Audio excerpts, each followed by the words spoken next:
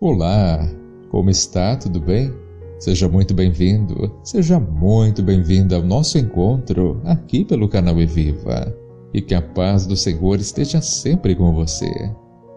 E a palavra de Deus para este domingo, dia 27 de junho de 2021, está na primeira carta de Pedro, capítulo 5, versículo 10.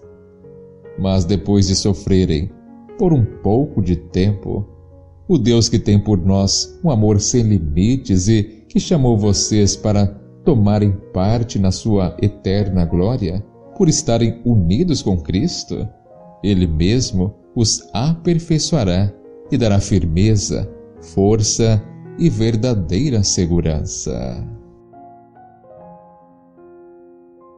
Meu querido, minha querida, às vezes no meio das aflições, no estresse da vida cotidiana, podemos até dizer: Ah, Senhor, até quando?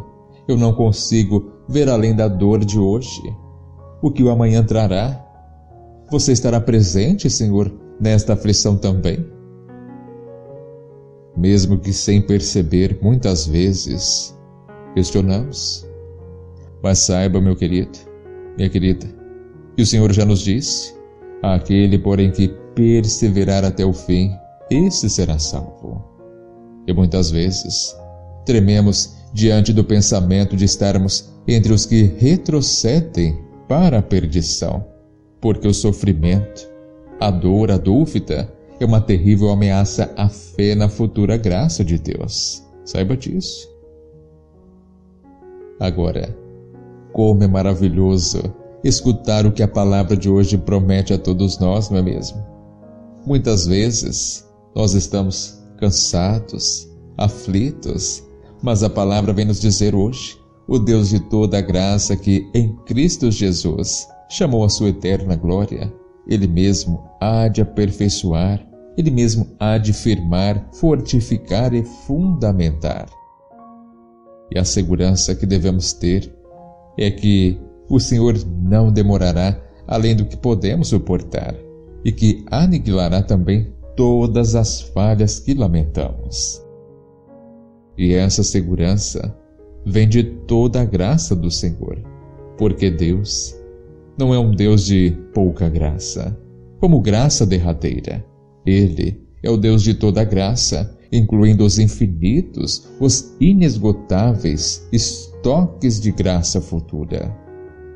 E fé nessa graça é a chave para permanecer no caminho estreito, caminho difícil que conduz à vida. Assim, eu lhe digo, mas com muito carinho, com muito respeito, por maior que seja a dificuldade pela qual possa estar passando, não desanime, confie, sim, mantenha a fé, a esperança, por mais difícil que seja, e sabemos que não é fácil. Todos enfrentamos dificuldades na vida mas não se esqueça de que Deus não dá uma cruz mais pesada do que aquela que podemos carregar. Ele dá a lição, ele dá as provas, conforme o nível do nosso entendimento e evolução. E nesta escola, esta escola da vida, há alunos em diversos graus, alguns mais adiantados, outros mais atrasados, mas o mais importante mesmo é que todos estão aprendendo de um jeito ou de outro.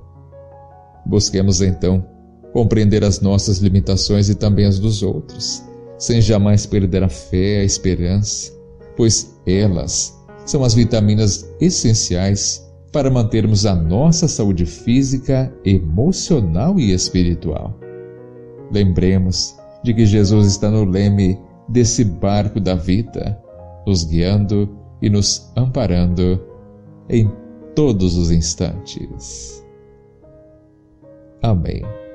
Agora eu lhe convido, com muita alegria, com muita fé, para vivenciarmos este nosso momento de oração. Senhor meu Deus, quero agradecer-te por estar sempre pronto a me ouvir. Obrigado, Senhor, pelo teu cuidado.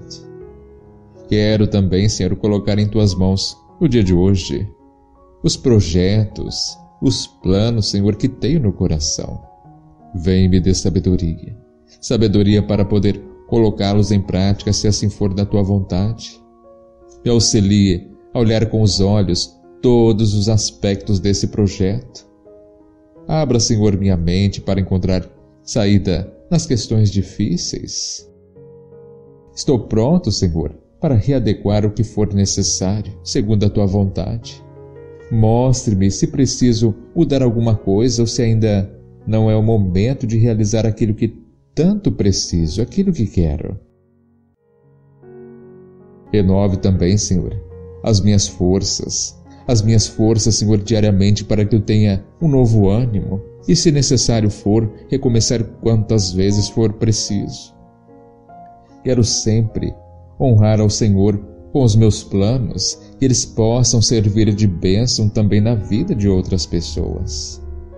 Não deixe que a ganância me seque, tire a visão vinda do Senhor. Quero que o Senhor seja prioridade na minha vida e isso inclui os meus projetos. Graças te dou, ó Pai, por poder sonhar, que meus sonhos sejam os seus. Siga comigo nessa jornada e que o êxito dela seja todo teu.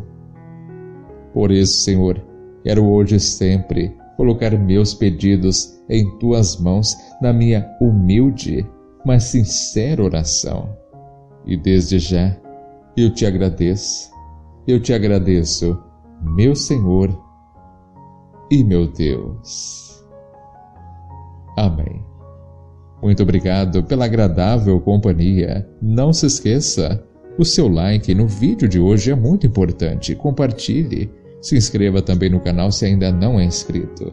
Assim, um grande abraço, que o Senhor sempre te proteja, ilumine e até o nosso próximo encontro, se assim Deus permitir. E um ótimo dia.